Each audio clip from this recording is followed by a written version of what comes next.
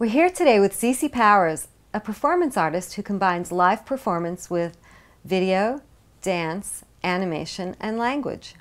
Zeesy, you describe yourself as an interdisciplinary artist, and um, I think that means that you kind of um, work in many media. Can you explain um, how you do your artwork and what it means?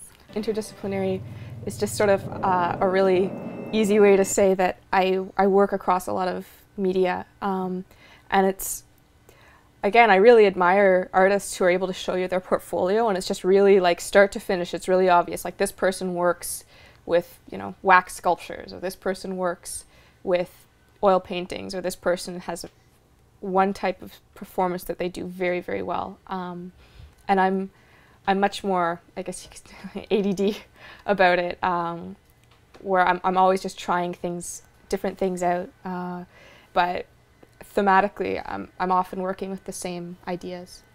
I think the best way for people to get an idea of what you do maybe is to talk a little bit about some of the some of the work you've done. And I was particularly interested in um, um, the three minute date oh, and. Yeah.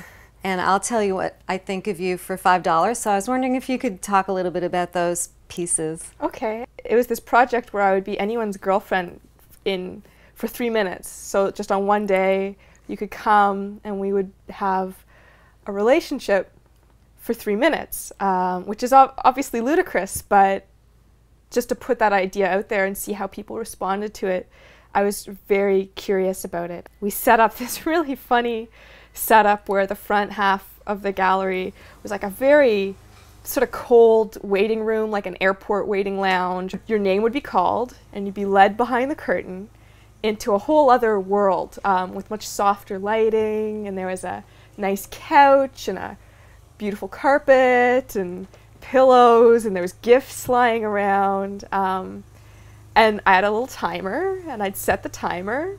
So we'd have our th three minute date. Of all those people, they were almost all, I would say, hurt when the timer went ding and I kicked them out. It was very hard to get rid of them. I went into it just trying to understand what what people thought a girlfriend meant um, and how people approached relationships and how how how I guess how real are our feelings, how real are feelings, and it turns out feelings are very real. So for I'll tell you what I think of you for five dollars. It's I'm really interested in setting up situations where people expect to be treated very badly and then see what kind of people actually still want to go through with it. And I, I sort of like to I like to surprise them by by not treating them badly. It's actually more of an exercise for myself in judgment to I re really wanted to see sort of examine my own judgments, very snap judgments, often strangers who I have nothing to go on except appearances and maybe how they approached me. Mm. And to really examine in my own head before the words fly out of my mouth, why do I think this about this person? And how did that happen? So it ends up being something, it's kind of halfway between um, like an analyst and a fortune teller mm -hmm, a little mm-hmm, bit. Mm -hmm. um, so it's kind of perception upon superficially looking at a person versus how the reality of their life might actually be. Yeah. And you have to sort of make a judgment call about that. Yeah. Do you want the viewers to understand what you're trying to express? Does that matter, or is it only what they see in their perception that they should be getting out of it? Do you have an opinion on that? In general, I actually just prefer it for the viewer to to bring their own interpretation to it, uh, and and very often. Um, it's it's more interesting for me to hear how people respond than to than to tell them how they should be responding.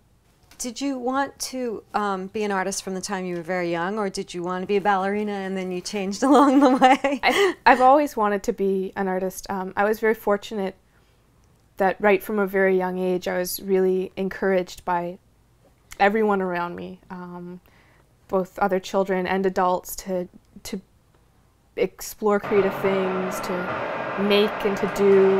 Zeesy, do you uh, feel that art is political or personal. I don't think it's really possible to separate the two. Um, even people who are very cl who claim to be apolitical about their work, you can you can see apolitics in their work, even though they may not be aware of it. We can't separate ourselves from the culture we live in.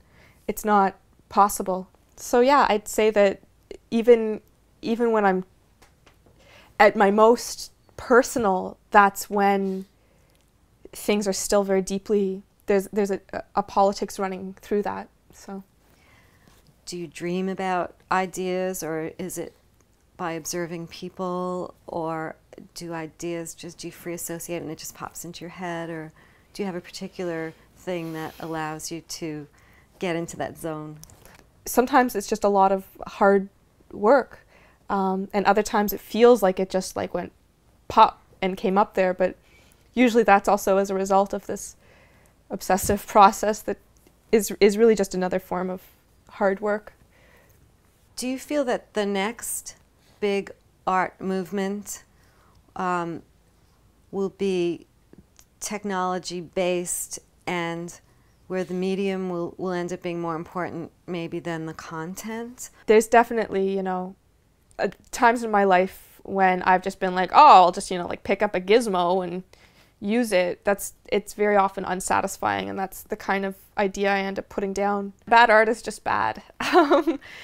okay, so Zeesy, is there anything else um, that you want to say about about your artwork and in, in terms of kind of um, living your life as art?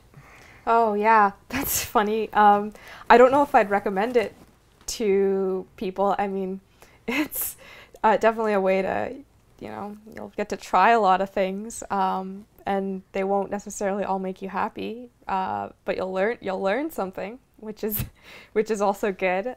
I guess something I've I've also learned is when you when you sort of like bring people in as part of your artwork, if you want to call it that, um, it's what ends up happening is that with uh, with sort of strangers or people you barely know, it's a way to create a very uh, real relationship very fast, uh, which is a beautiful thing, but also comes with its own dangers. People end up not knowing where they stand really. Um, which is also I guess like when do we ever know where we really stand? Yeah, so, so it's just part just of what you're doing, it, right? Yeah, just making it really clear that no one no one knows what's going on ever. Okay, well, this has been great. I really appreciate your time. Um, it's just been wonderful talking with you, and we'll be um, we'll be looking forward to seeing your next project and all the ones after that. Thank you. Thanks, Thanks. If a woman were a lioness, what characteristics would she have? A woman as a lioness, um, great hair. they don't have manes, I know. Um, gee, that's interesting. Um, I think of lionesses as very fierce and in charge and really all about sisterhood. So that's, yeah, I guess that's what, that's what a lioness would be.